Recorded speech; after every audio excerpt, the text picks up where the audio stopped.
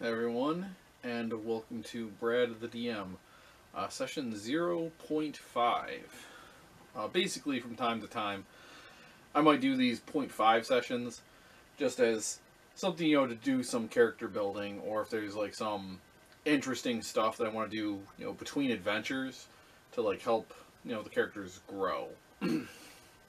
or if I just have cool, interesting ideas that I want to put out into the ether, you know, foreshadowing, character thoughts, etc.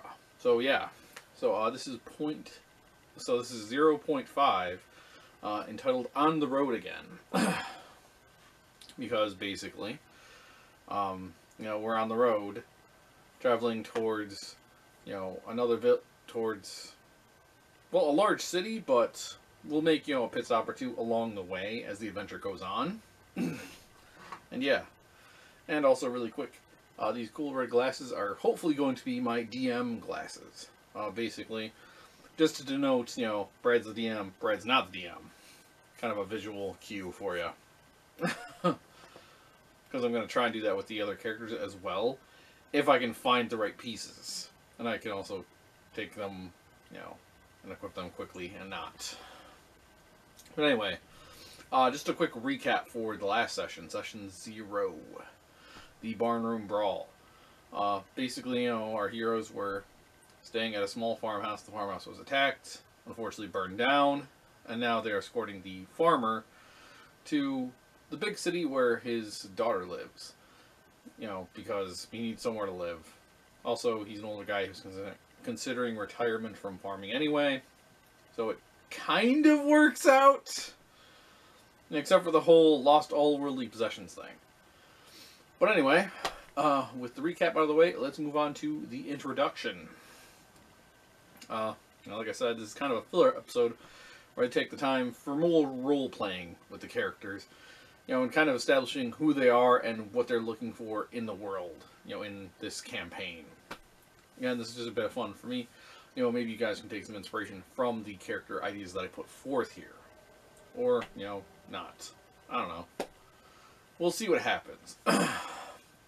and I'm um, really quick at my table. You guys, you don't have to have you know like a big elaborate character story. You can just be like, I like Dragonborns, and I've always wanted to play, you know, a monk, whatever.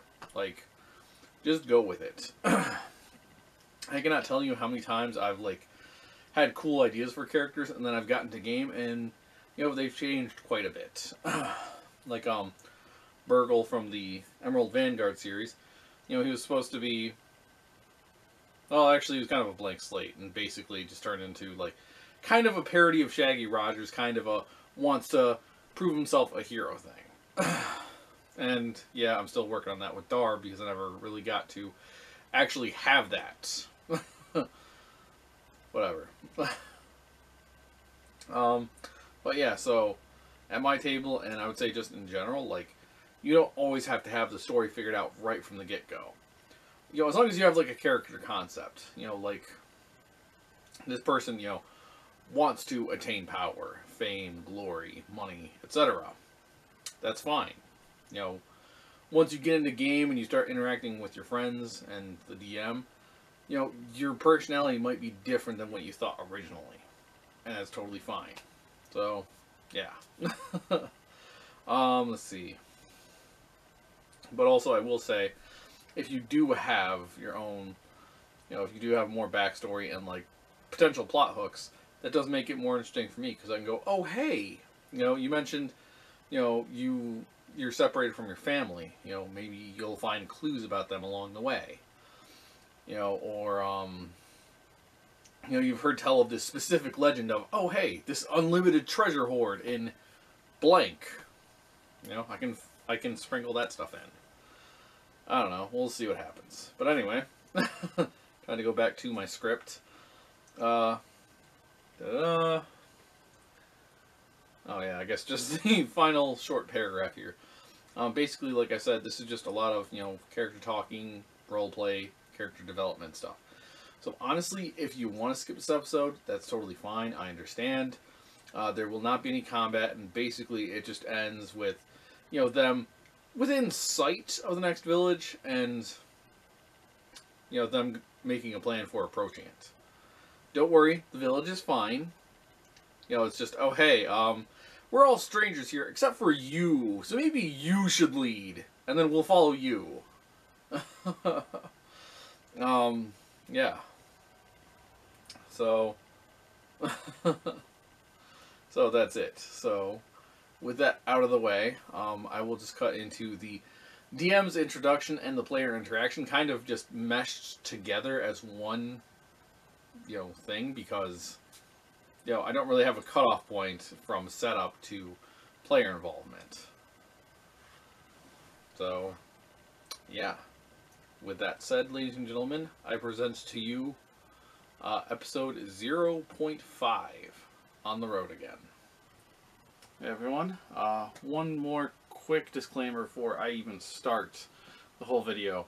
I have six pages of notes to go through, so um, I'm probably going to be cutting this up into pieces as I see fit, so ideally, you know, um, at certain cutoff points, I will make those cuts, but just so you know, uh, because of the 30 minutes, you know, recording thing. and then second, I will try and do voices to differentiate between different characters you know, I hear some difference, um, but also, if it's not 100% clear, I, don't, I don't know what to tell you. I'm just trying to do whatever the heck I can for this, so it works.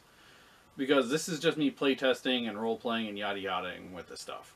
So I don't have to be a world-class actor portraying different characters. I just have to get across the point of, hey, these people are different. That's it. so hopefully that comes across. Hopefully you guys like it. Hopefully you guys pick up something from it.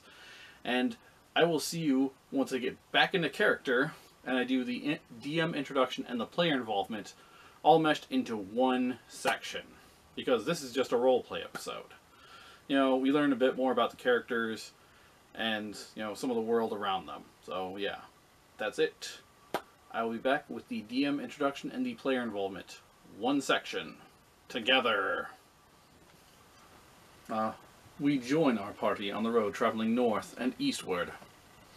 Uh, Bren knows of a small village, Niehold, uh, that he wants to warn of the bandit attack and gather some supplies for the trek to the larger city of Bayerden.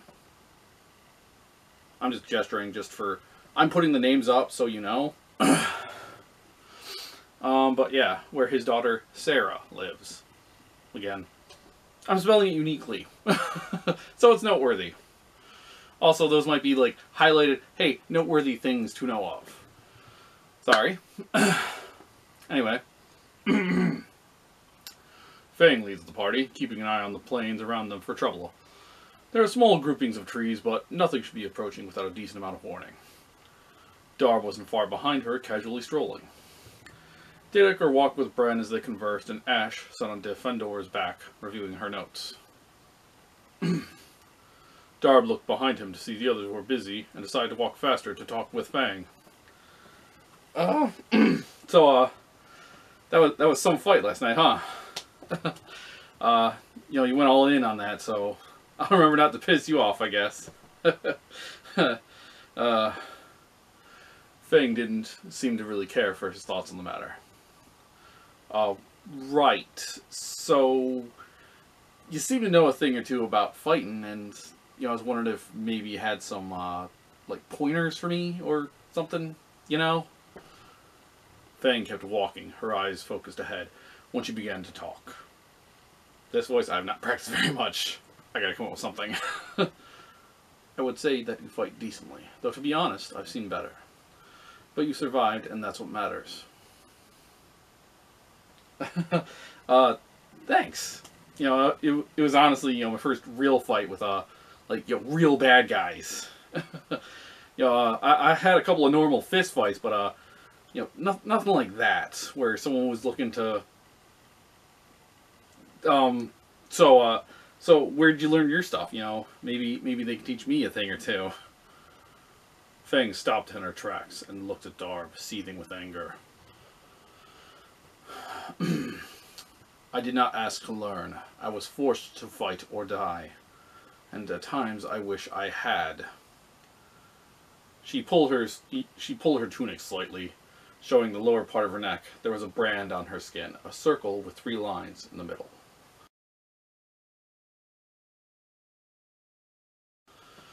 Darb wasn't sure what the symbol meant and stared at her in confusion.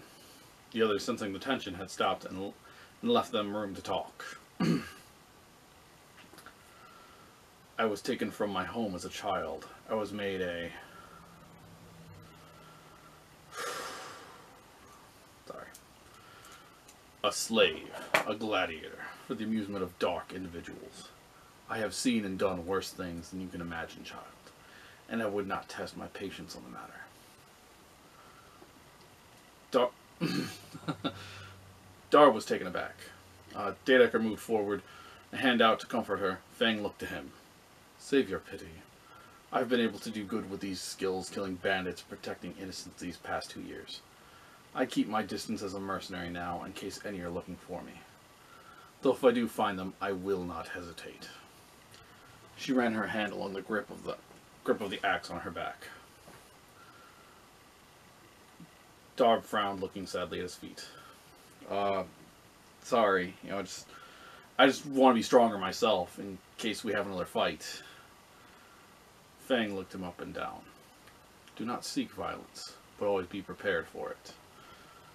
She put a hand on his shoulder. You have your own strength in battle.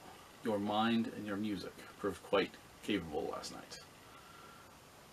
Darb smiled at that. Thank you. Dadecker nodded, feeling the situation properly diffused.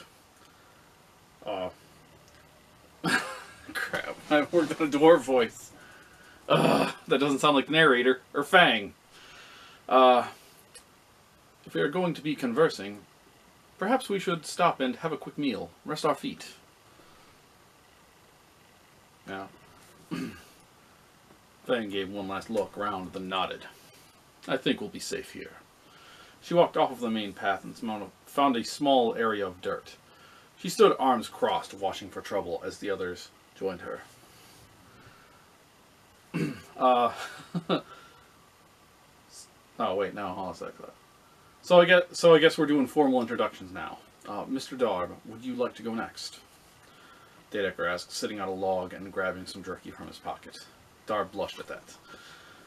Uh, it's a uh, it, it, it's just Darb, sir. Uh, I'm not very formal to be honest with you. Dadecker smirked at that. Uh, my apologies, and just call me Dadecker, or some nickname if you prefer. And that, of course, goes for the rest of you as well. He nodded to Fang and Brent. Darb walked to the middle of the spot and stood before everyone.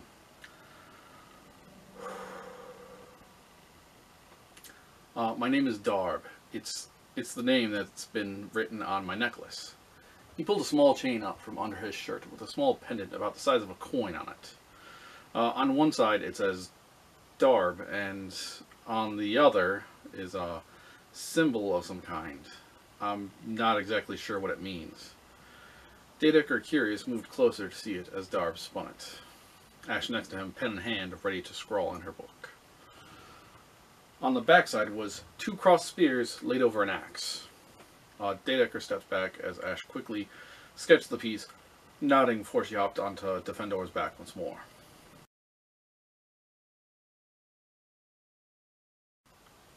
Could be a clan symbol, Dadecker mused. I'm not the most informed on orc culture, so I can't say anything for certain, but perhaps... Darb nodded. Thanks. Uh, honestly, don't know anything. Uh, you see, I wasn't raised by orcs, uh, and from what I hear, I guess I'm like uh, half-blood. I guess. Fang piped up at that. I have seen orcs before. You're a bit small for their kind, and not as harsh. Darb wasn't quite sure what to say to that. Uh, thanks? Everyone laughed at that. Fang smirked, and Dar blushed.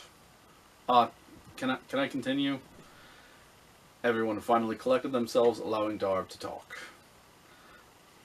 Um, I was raised in an orphanage. Uh, I was left there as a baby with a note asking them to care for me. you know, I spent a number of years there, and once I grew up, I set out as an adventurer. Um, I've always had skill at performing, so you know, I picked up some instruments a few years back. You know, a, a lute, uh, the pan flute, uh, and a harp. Um, uh, it, it, it just felt right, you know. Um, you know, first it was small things, like when one of the other kids was laid out with a fever, you know, I sat with him and played idly on my harp, and in the morning his condition improved. Um, you know, and I was good at uh, telling stories, you know, really absorbing people into them. You know, I, and I especially love the stories about heroes fighting monsters and saving people, and I wanted to be one myself. So, uh, you know, after getting some money together and uh, leaving town, I've just been wandering around, you know, doing good and other stuff. Brendan motioned for Darb to continue, the others taking notice. Darb nodded. uh, right. Uh, I, I found Mr. Bren's farm, and I wanted to help him out a bit, you know, with all the work around the farm, so I was there for about a week before y'all showed up. Darb paused, turning his back at the group. Um, I'd, uh, I'd, I'd, had some difficulties in the last village. Uh, they weren't so nice to me, and I was worried I'd find more of the same. Tears were on Darb's cheeks. He wiped them away quickly. Uh, thanks again for letting me stay with you, you know, uh, Mr. Bren. You know, I want to repay that kindness as best I can. Bren waved a hand. It's fine, lad. I knew from the start you had good intentions, and I wasn't about to lift the cart myself when you found me. Bren looked at the others and explained. I was on the way back to the farm when my wheel broke, and he helped me to attach my spare. I found it curious how you stuck around finding different jobs to do. Darb nodded. uh, yeah, I've, I've done odd jobs before, and like I said, you know, uh, hoping to avoid any more awkwardness, stood up. Right, well, I guess it's time I introduced myself. Uh, I go by the name of Dadecker. I'm a priest of light. Most notably within the Thor's North... Within the Norse mythos. Uh, I believe in the purity of the light, and I'm wary of darkness. You know, Darb smiled and clapped. yeah, that's a that's a solid intro. I'll have to add some cool descriptions to mine.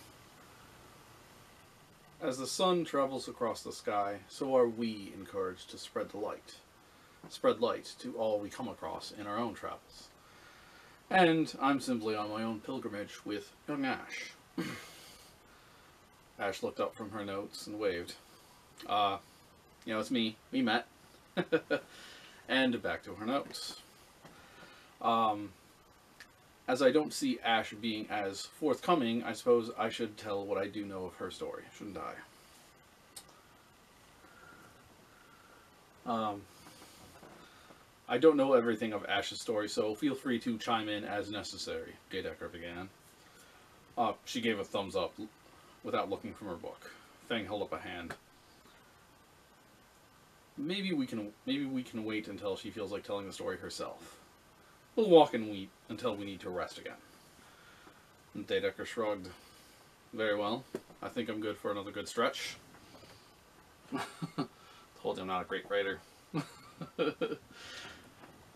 so the party continued on for another few hours of walking, before settling down for an evening meal and sleep. Darb and Fang gathered firewood for a, fall, for a small fire. blah, blah, blah, blah. Fang had caught a pair of rabbits and proceeded to cook them for the party. Bren nodded in appreciation at that. Nice work. Again, if voices drift, I'm sorry, it's roleplay. It's hard. Fang nodded in gratitude, then looked to Ash. Ready to tell us your story? Ash sighed and closed her notebook. Trying to act the stuff out, too. And just using the stuff on hand. right. I'm to put on my glasses for this, actually, too. Sorry. I suppose I do owe you that much. She stood facing the others. I'm Ash, a gnome artificer. I'm good with my tools, and I make some wonderful things. such as Defendor. Uh, the metallic goat stepped forward into the flickering firelight. Darb was impressed. he was pretty cool. You know, the way he took that one guy down. Man, that was that was good work. Ash smiled and blushed. Uh, thank you. Anyway, uh, I've always had an interest in science and machinery, but also just about the world in general. So much so that I had to get out and see it for myself. Uh, after having built Defendor three years ago, I believe, I left home to pursue my own interests, and dwarves are hailed for their engineering prowess. Uh, Dadecker bowed from his position. we do spend enough time mining and forging. We're bound to get something right. Ash nodded. Uh, right. After studying under the Dwarven Masters, I heard about the libraries of Bayerden, uh, where so much knowledge was kept. My curiosity piqued, I decided to head out. And I met Dadecker at the Temple of Ogier. Again, I'm just putting the spelling there, just for reference, because Norse mythology. Uh, I felt it wasn't a bad idea to get some blessing before travel, just in case.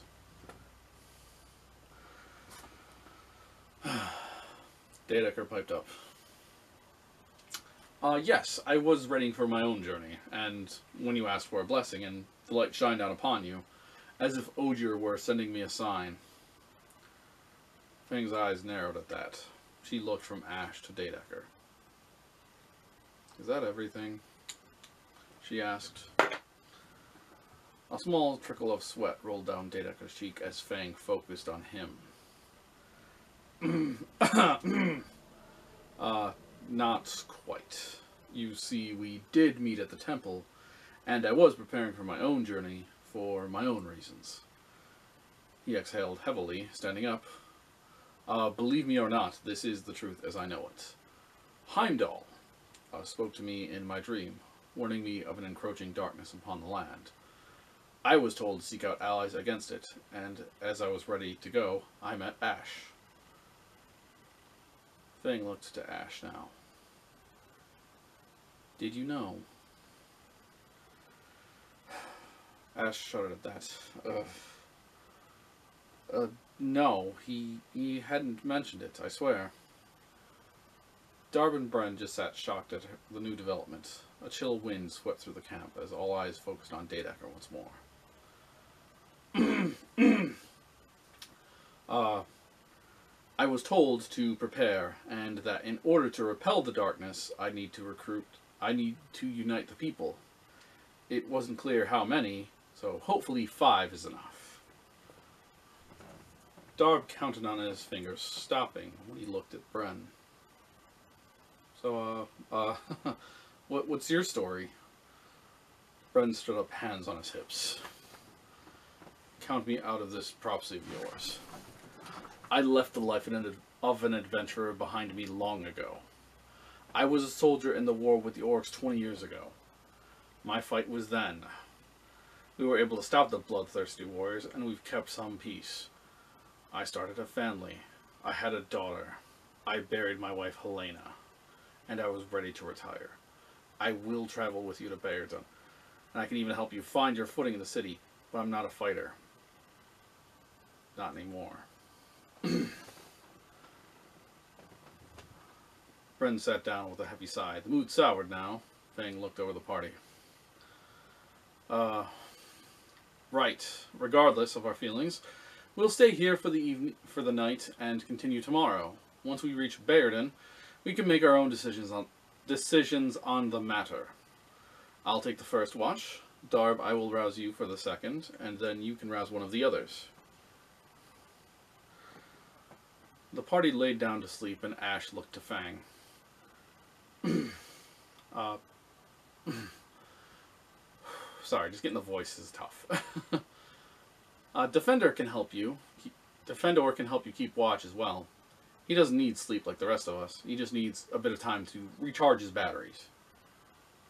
Fang nodded. Thank you. I appreciate the company. Defend...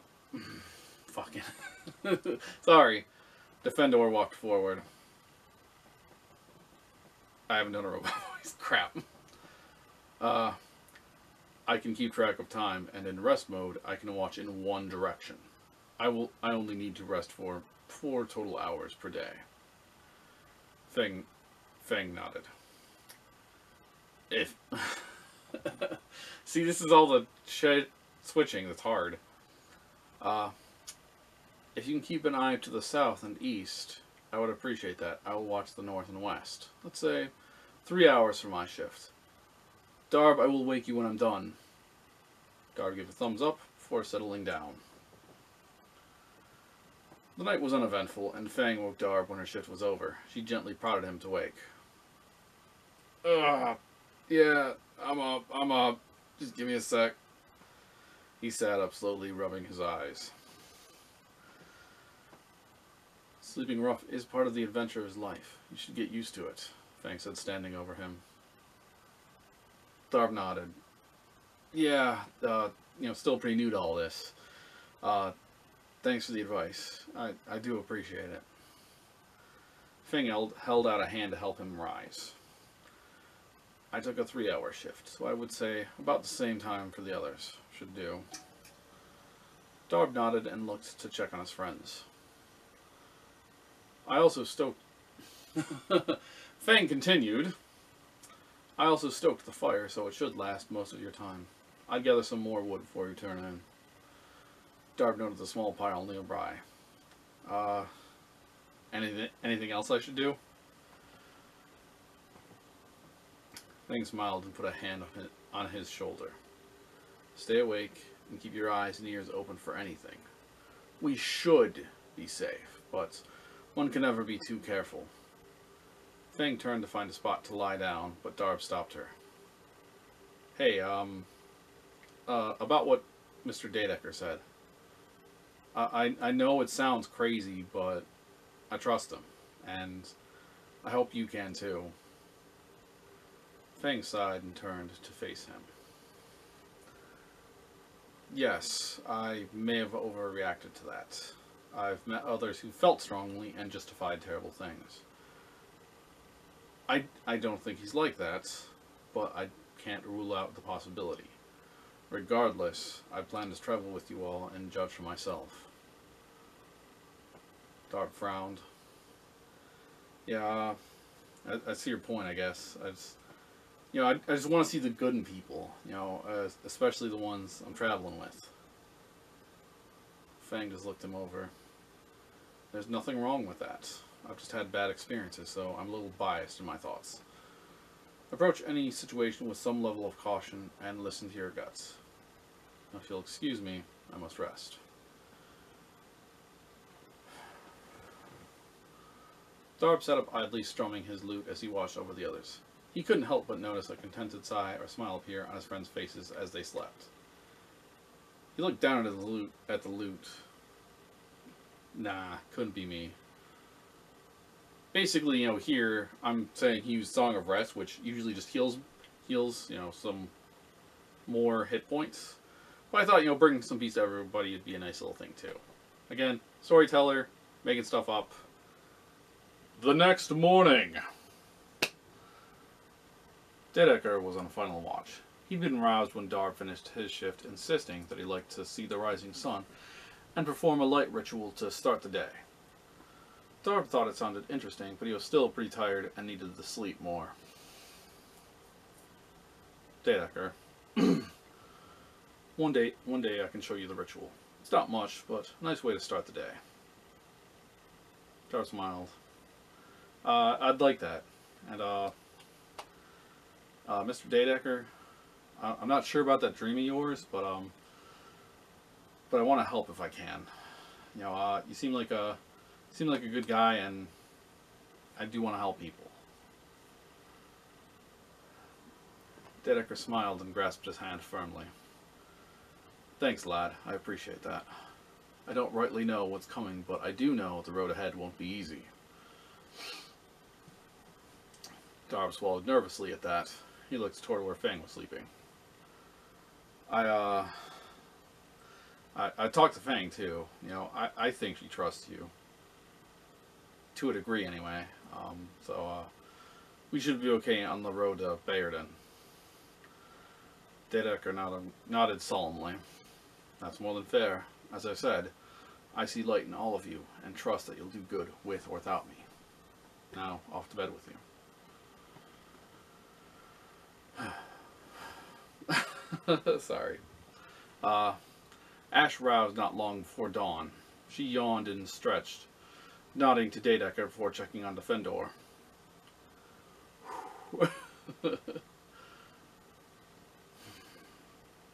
Nothing to report, Ash. All has been quiet. Fang and Darb had three-hour shifts, and we are currently two hours into Dadeckers. Ash nodded. Uh, thank you. Uh, did you get your recharge time? Defendor nodded. Yes, during Darb and Dadecker shifts, shifts, respectively. Ash stood up and patted Defendor's head. Ah, uh, good. She stood up and looked to Dadecker. Uh, since you all took the watch let since you all took watch, the least I can do is prepare a morning meal and coffee. I bet he likes cream, and she takes hers black. Sorry. Uh, Dadecker stifled a chuckle at that. I couldn't say, but I wouldn't refuse the kindness. Ash nodded, opening. Nash. Ash nodded, then opening a side bag, started to get a few items together for meal prep. Over the next hour, she got a small pot, a small pot cooking, and did some light foraging for edible items. By the time she returned, Fang was sitting up idly chatting with Dadecker. Bren had moved the pot from the fire to a stone to cool, and Darb was was sat up rubbing his eyes. The whistle of the kettle had woken him. She set down what she'd gathered, and Fang offered up some jerky she had to the others. Darb had a loaf of bread to share. Fang sighed when Ash informed her she didn't have any tea, prompting a, prompting a smirk from Dadecker. She, lo she looked at him. I'll have you know it's very calming.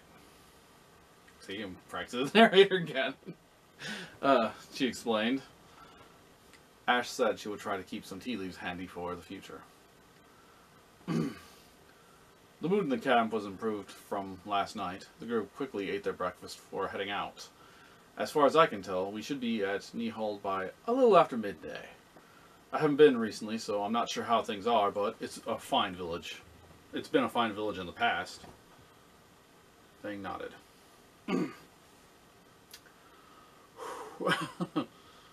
All right, uh, we'll continue straight to the village, and then I believe you should take the lead, as they know you. Uh, we'll resupply for at least the evening, and plan our next move from there. Dadecker smiled. Sounds a good plan to me. Darb nodded happily. Darb nodded happily, and Ash nodded her approval as well. And that is where I'm going to end this session, folks. Again, it was a nice bit of roleplay. I'm playing so many characters and a narrator, so please be kind if you make any comments or suggestions about how I should do better voices. Um, with that said, I'm going to get into final thoughts, and then that will be the video. So, alright, um, so I'm probably going to be reading mostly from this, just so you know. So, don't hand me reading. It's hard to do all this stuff, although I might ad-lib a bit. Cool, alright, um, so, you know, I had some fun with storytelling here. Um, I got to establish that, while we're all together, it's not going to be just a, oh, hey, we're all best friends, you know, like after hanging out for five minutes.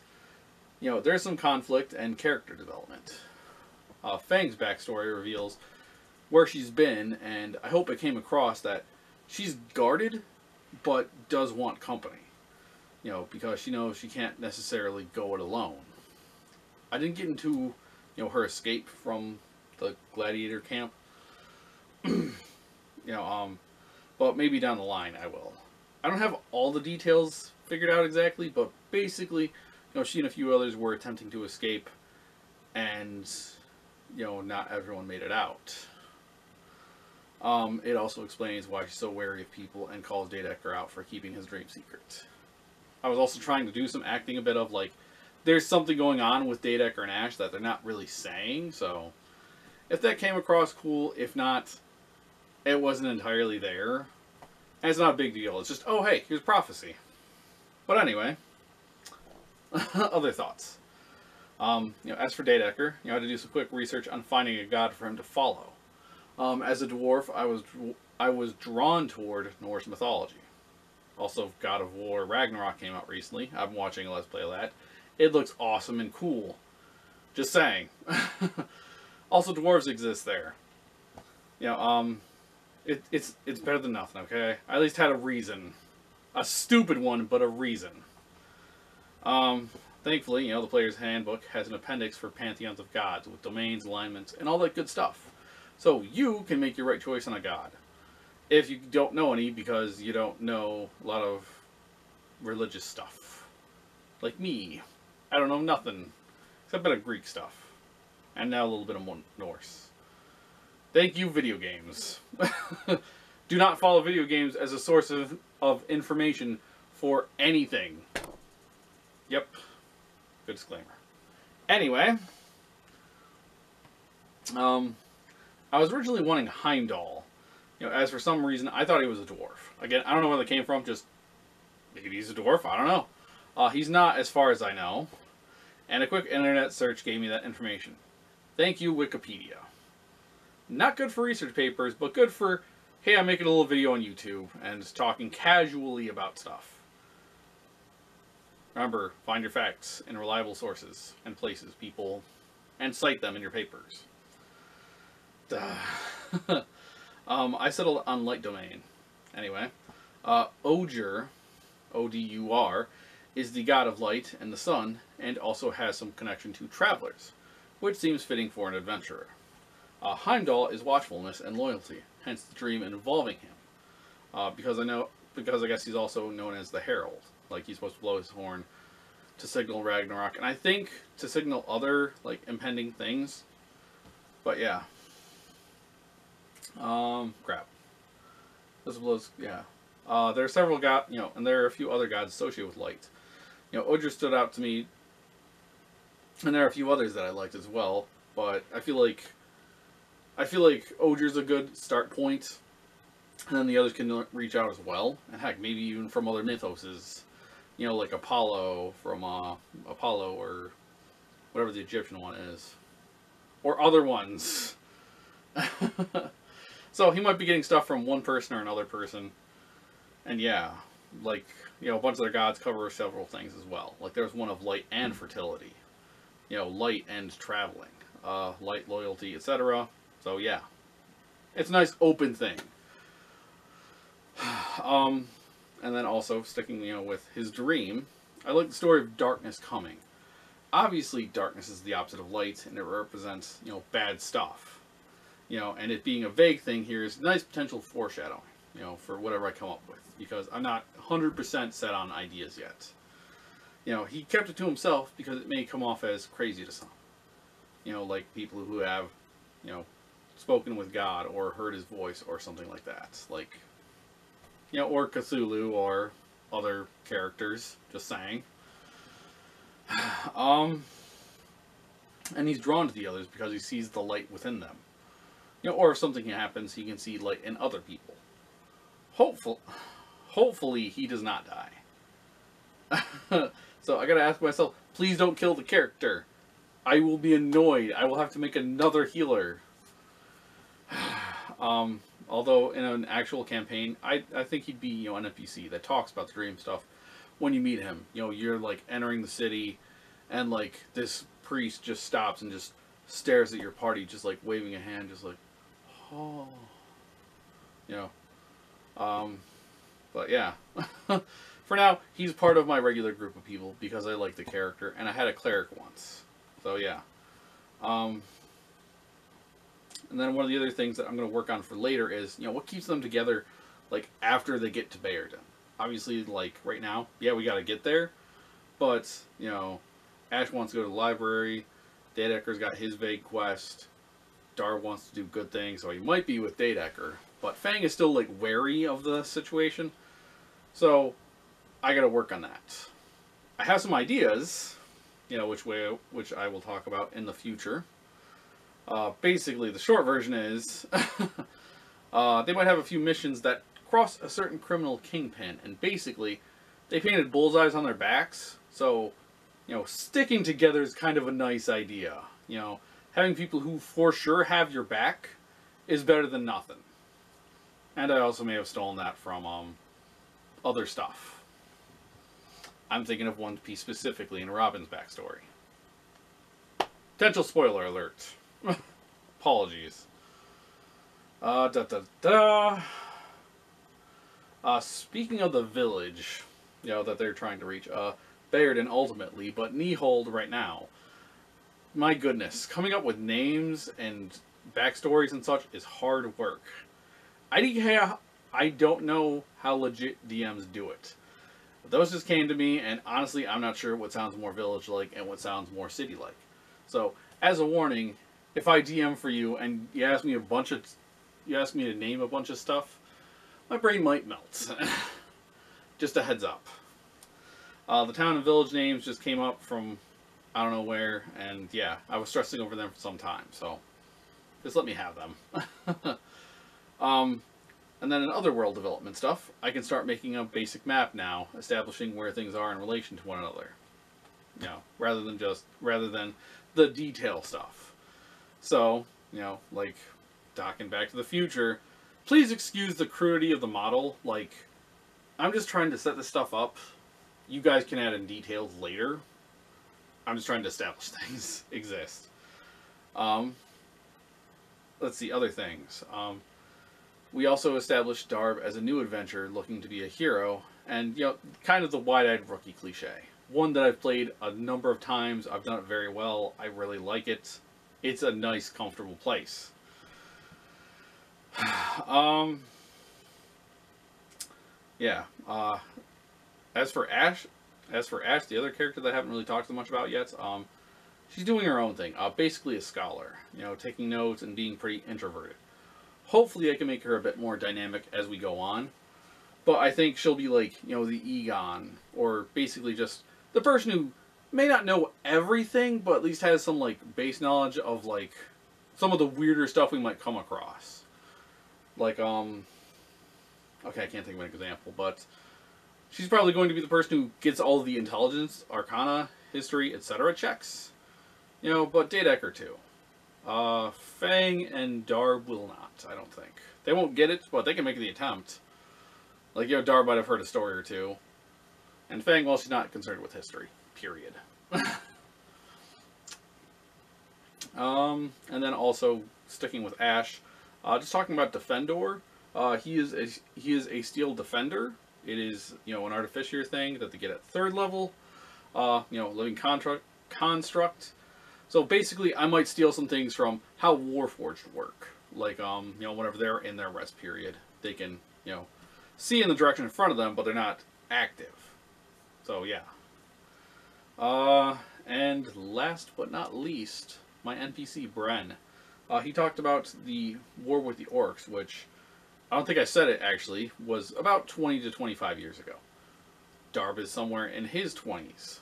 Maybe there's a connection. I, like, I had the idea before. I don't know if it's going to be connected here.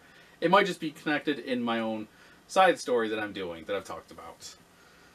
Um, and again, if we get to get him to Bayerden, you know, he can get the team in contact with someone to get them at least a place to stay, you know, maybe get their foot in the door for like, oh hey, we can get you like financed and work and ready to face off with, you know, whatever bad stuff comes their way cuz obviously they're the heroes of this D&D story, so they're going to have to do a lot of stuff.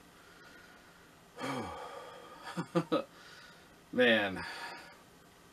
Done with notes now. So, yeah, that was an experience. Um, like you saw, trying to do narrator and character voices is a challenge, and trying to change inflections and tones enough that it's clear that someone else is talking is a challenge. Especially doing it on the fly with six pages of notes. It should be easy in, easier in the future, you know, um, with the other with the next section, with the next session, because I'm not, you know, just making this. I'm not reading out what I wrote. I'm going to present them scenarios. The characters are going to make their own decisions. Like, oh hey, we should do this, we should do that. So I can be a bit more loosey-goosey, I hope. Please let me be more loosey-goosey. I'm asking myself. Please. uh, but um, I'm still having fun with this. Uh, like you know, these things are going to take some time, so I'm never ever going to give you a I'm going to get this out by this time thing. Um, I and it's also helped me to like come up with brainstorming some other ideas for my story. You know, with Darb and a few other different characters. Then I might bring some of those elements into here and vice versa. And maybe I'll start a series of just talking about that stuff. Maybe. We'll see what I feel like doing. I I seem to have ADD with YouTube video topics. But that is another story to tell. So with that, ladies and gentlemen, I will leave you with, you know, my classic closing line. Have fun, stay safe, keep hydrated, and of course remember, every character has a story to tell. I'm Valiant Bradley James, the new DM, several characters in this trial party, and a bunch of crazy, wacky characters with hopefully different voices. Until next time, peace.